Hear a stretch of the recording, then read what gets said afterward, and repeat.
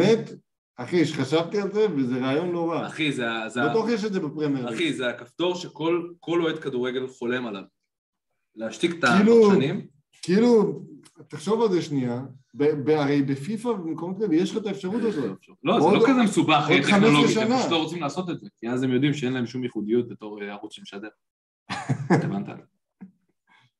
כן. כן אבל אני מרגיש, אני יודע, אני חופר בעניין הזה, אני מרגיש כאילו הם צריכים... פעם שמעת זה? כדורגל אתה צריך לדעת מי השחקן שעם הכדור.